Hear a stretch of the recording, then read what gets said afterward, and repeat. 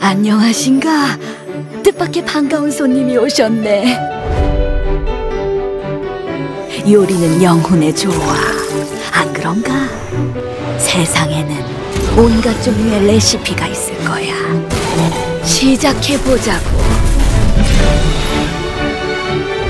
쿠키야 많으면 많을수록 좋지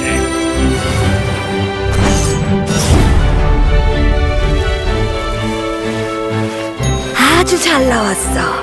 그렇지 않나?